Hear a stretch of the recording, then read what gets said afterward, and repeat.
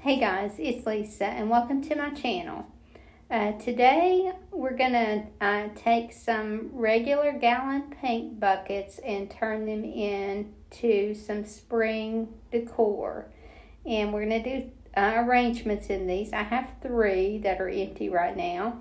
And the newer paint buckets are plastic. So when the paint dries in them, what's left in the bottom, you can just peel that right out. Um, not so much around the rim, but that doesn't bother me at all. Uh, just to leave that, I think it actually adds some character.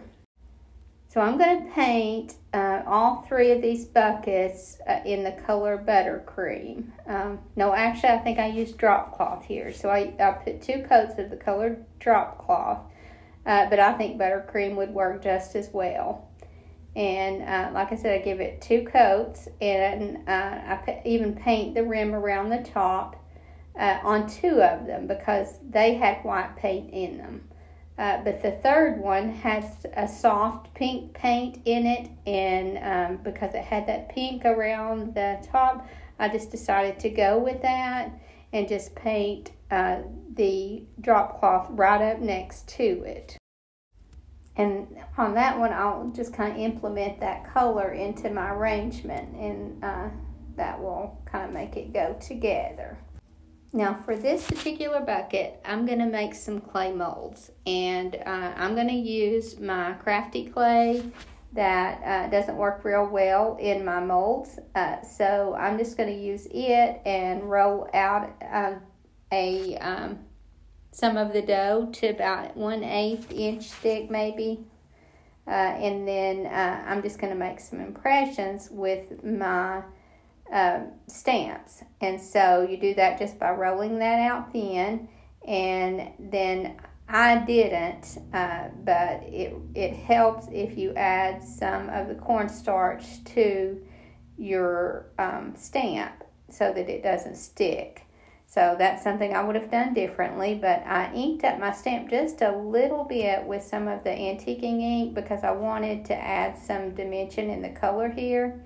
So as you can see, I just kind of roll it across and that will make that impression in the clay. And then you can just trim your re remaining clay off and then glue that right on. And um, I started to peel this off or tear it off, but it it cuts really well with the scissors also, so I just cut that off. And I did the same thing with my script stamp on the other side. And uh, before I apply those, I'm just going to take some of my script stamp and just kind of randomly stamp it just to add some layering to my bucket. So I want to give this some aging, so I'm just going to go um, go over this, especially around the top and the bottom, with some of my antiquing ink uh, just to kind of make it look more uh, more aged. And like I said, I'll concentrate it more around the top and the bottom, and then just kind of feather it a little bit into the rest, uh, just to kind of make it look more authentic. Obviously, that step is completely up to you. Uh, if you don't like yours to look more primitive, just leave it. Uh, just leave it the white. So now I'm ready to apply my molds and I'm just going to do that with some Titebond glue. So just kind of spread a little of an even coat on the back and glue it straight on.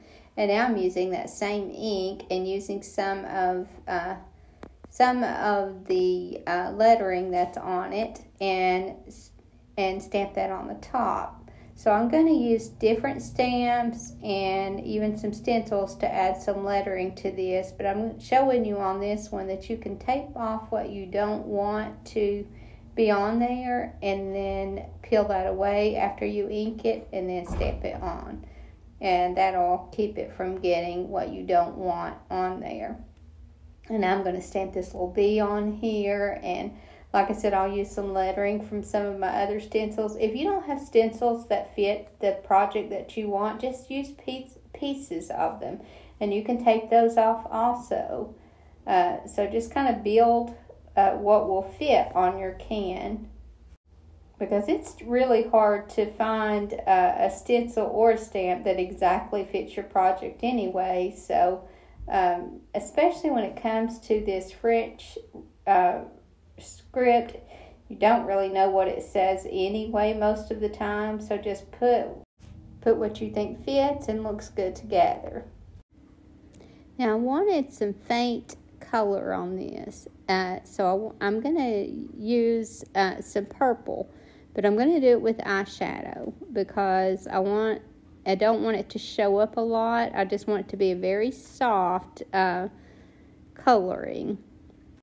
And I know that the the eyeshadow is not permanent, but I'm gonna mist it with uh, some uh, a clear matte finish. Uh, so I'm just gonna spray that lightly, let that dry, and spray another coat and let that dry, and that will it will stay very well. But I just didn't want to use ink or paint on this because, like I said, I wanted it to be very soft.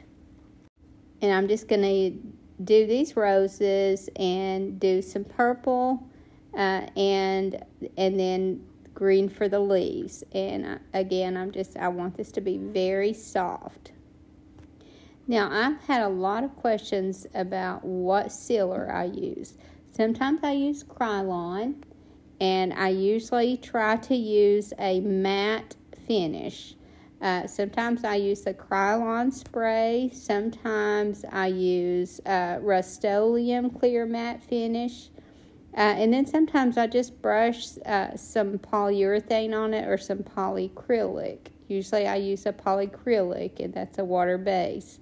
Uh, but you really don't have to concern yourself so much with what sealer you used. You just want to seal it with something, even if it's just a clear wax. Obviously, in this case, I can't use a clear wax because I don't want to brush anything on uh, because uh, of this eyeshadow. So it has to be sprayed with something.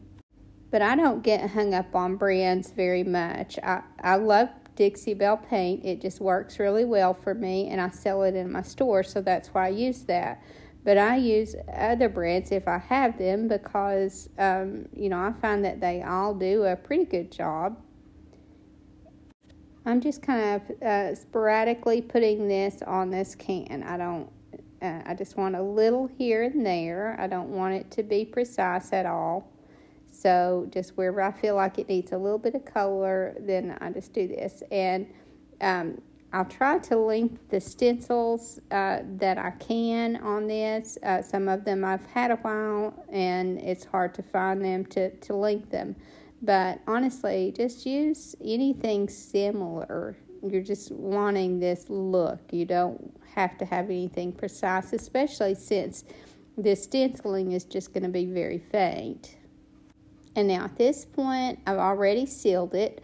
So uh, I want to um, bring out some more of this detail in the stamp. So I'm just using some Van Dyke Brown glaze, and this is a Dixie Belle glaze, but again, any brand that you want to use is going to work. So um, I just want to do a little antiquing, a little more antiquing on this, but I especially want to bring out uh, more of that detail. So I just kind of rub it on and rub it off. And uh, because I've already sprayed a clear coat on this, then I don't have to worry about it taking too dark. And now, because my friend sent me lots of lace, uh, I have this beautiful vintage uh, ribbon or lace and I'm just I want it because it's small and I like the vintage look of it and I'm just going to glue it around the top and then around the bottom. I just want just a touch of that color and it goes really well with the the color in the roses here. So I just glue this all around the top and then all around the bottom and um and I feel like that adds just enough color to this and now the only thing I'm going to add to this is a um, shabby bow. And I do that by just cutting some strips of fabric and some strips of lace. And um, I want them all to be the same length. And I think these are probably about four inches long. And I'm even recycling some here from uh, an old stained um, runner, I think this is. And um, I'm just going to kind of mix these up. I wanted it to be warm, the colors to be warm, but I wanted a little bit of that purple in there. So um, I just, like I said, stri- cut these strips of fabric and then I'm just going to arrange them and uh, tie them together. And um, that that's all that there is to making these little shabby bows. And as you can see, I just stuck some flowers down in there. I didn't do any kind of arrangement in this one. I just wanted it to be just like a, a little bucket full of flowers. So that's the first one. And now for the second one, I'm going to use this transfer, one of these transfers uh, from this set that I just ordered from Amazon. And these are the cutest little bunnies, and um, they have several in them. So uh, I'm going to use one of these, and the one there on the top I'm going to use on another bucket. Somehow I didn't get that footage, but that's going to be on one side of one of the other buckets. But this bottom one here is what I want on this one. So I just cut that apart there, and um, I've already sealed this bucket uh, underneath this because I want to make sure that this uh, doesn't pull my paint away. So uh, I'm just going to transfer that right there on the bottom. But again, this one is the bucket that I had the pink on the top of. And I want to add some more of that um, eyeshadow color underneath this.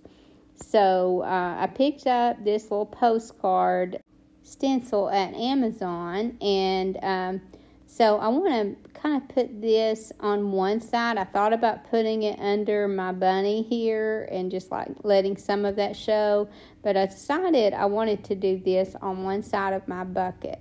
So I'm going to do this stencil with uh, with some ink. So I'll do I'll take this off, uh, which was a mistake because I didn't seal this side of the bucket and because of that, it pulled a little of that paint off. But that's okay. I'm I'm fine with it uh, having that distress. I wanted to show you these brushes. These are what I use for my stenciling when I'm stenciling with ink. And I usually order those from Amazon, but my Dollar Tree had these. And so I thought it was, uh, I thought I would get some of those and show you guys uh, that you can buy these very cheap uh, at obviously at uh, the Dollar Tree. So I hope yours has them, but like I said, mine just got them in. So uh, so this postcard stencil, I'm going to do some of it with with the eyeshadow in the flowers and then the rest I'm going to do with black StazOn ink. And again then I'll spray seal it afterwards and and this uh, eyeshadow will be sealed in. But I just wanted to add a little color in with this stencil uh, again because I want to bring this pink down. So um, I thought this was a good way to do that. But I just love this stencil and I'll link it in the description because I know I can find it. I just purchased it and then I'm also adding a little bit of green in in the leaves here, and I had to mix some of that green with some yellow to get the right color of green. Because again, I want that to be a really soft color. I think this one turned out to be my favorite because I just really like the soft colors with the black script. I think think that was a really pretty look, and like I said, the the paint that was left around the top of this, I think only helped and now I want to add my, my um, transfer to the other side.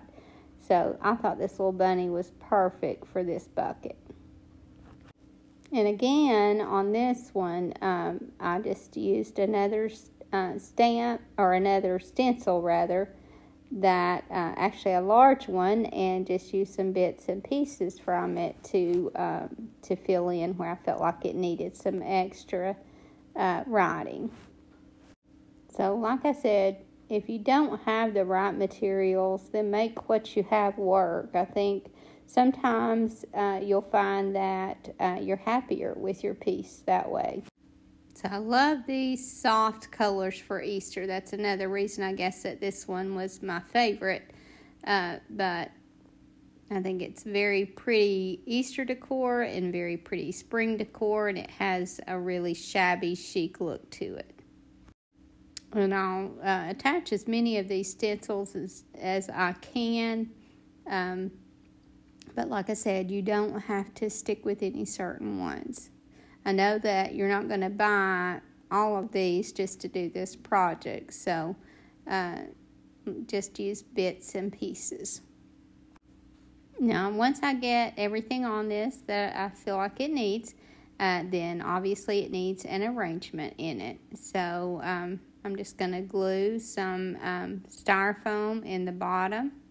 And I'm using a harder styrofoam on these, uh, which is not ideal at all. I just thrifted it, and um, so I like to uh, get that when I can get it at a good value and uh, it just makes it a little bit harder to arrange, but that's okay. I can make it work. And I just glued that right in the bottom, and then I'm just going to use bits and pieces of floral.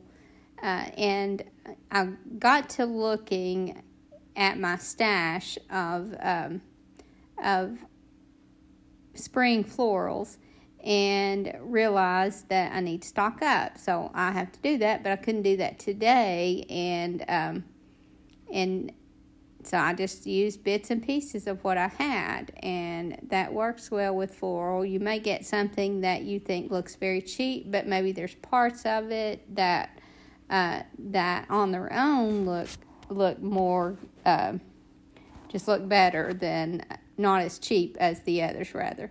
So I'm just using bits and pieces on this and just kind of playing with it and seeing what uh, what I can come up with. And I love using my florals up because they tend to get out of hand. So uh, this way I can get rid of some of these and just kind of cut what I want to use off and throw the rest out. So it kind of helps me clean up too when I run out for a little while. And like I said, and, and as you can see, uh, this hard styrofoam makes it really hard to uh, to do my arrangement. But just just takes a little longer. and takes a little bit more effort, uh, but it does work. So, like I said, I like to use this stuff up, and I like to save money on it when I can.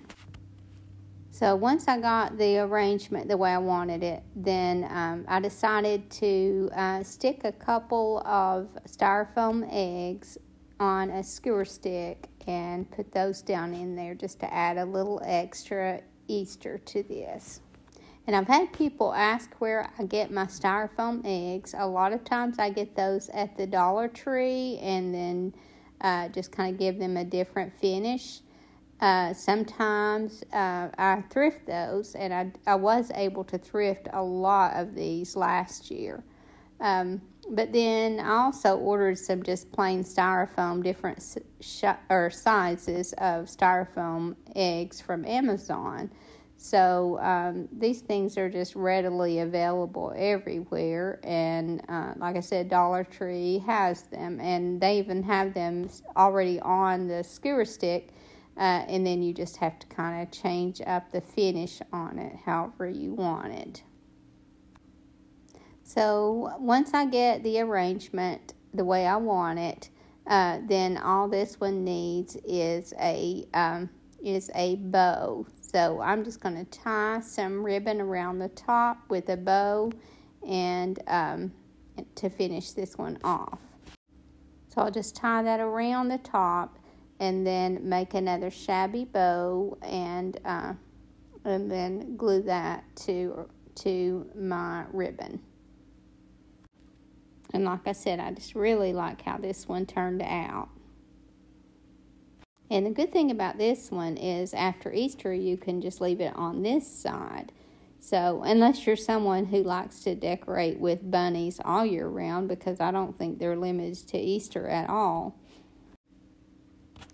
so the third one that I'm going to do is I'm going to use that other transfer that I showed you that I wasn't able to get on on video. Uh, so I'm going to do the tra- that transfer to one side, and then on the other one, on the other side, uh, this side, I'm going to decoupage uh, part of this napkin on here. So uh, I'll just cut that out, or, or cut one uh, fourth of that out there so that I can have uh, three more images for other projects. And then uh, I'm going to separate these layers and uh, decoupage only one, only one layer on. And to tear this out, I'll take a, a little bit of water on a little paintbrush and outline around it and then tear it. And that's just an easier way to tear this out.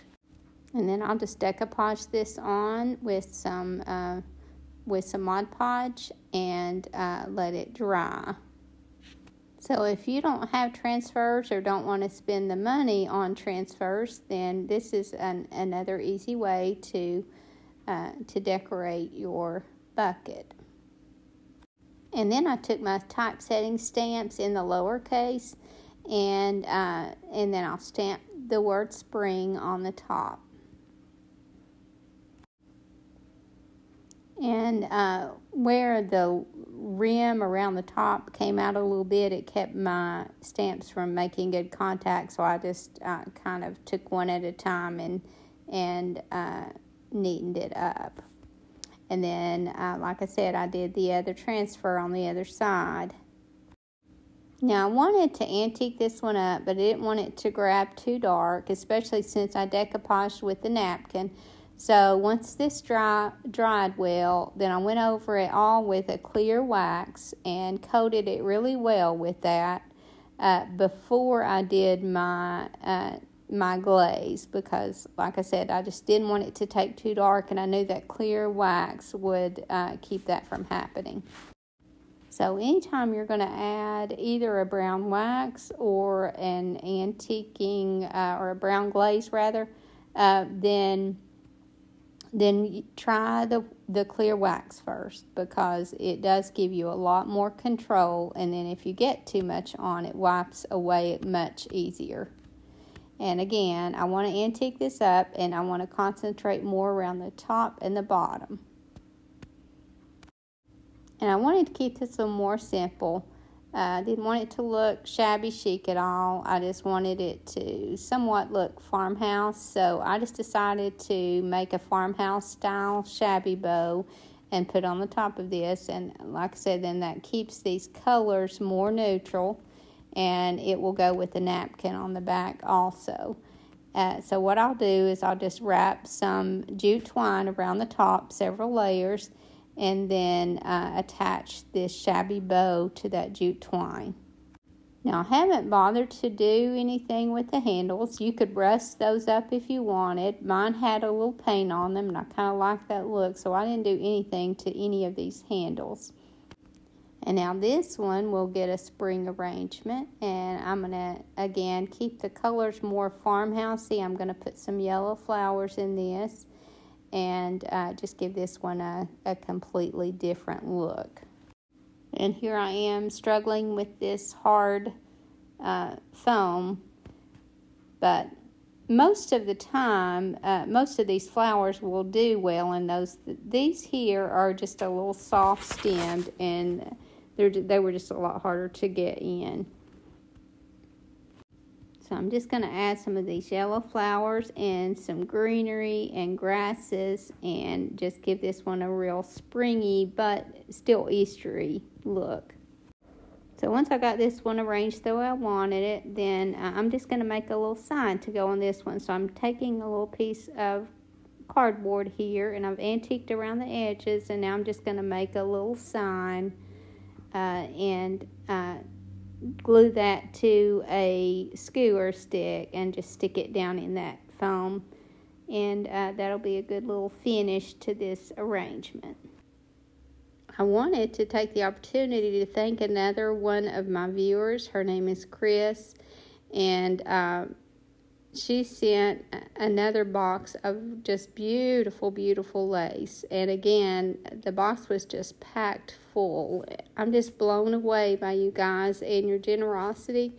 There's just so many wonderful people in this world who uh, have such a heart, and I think so many of them are right here on this channel, and I'm just so grateful to you. I just can't thank you enough. I feel so blessed to have you guys, um, all of you, be a part of my channel. Now again, I've kept this little arrangement simple.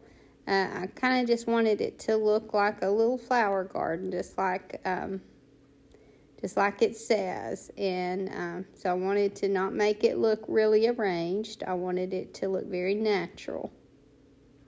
I'm thinking for my next um, video, I'm going to do some um, some tin cans, maybe some arrangements, and I don't know, I might come up with something else to do with them, but uh, where some of you don't have paint cans, all of us can come up with some vegetable cans. I hope you guys enjoyed this video, and I hope to see you in the next. Thank you so much for watching. Have a great evening, and God bless you and your family.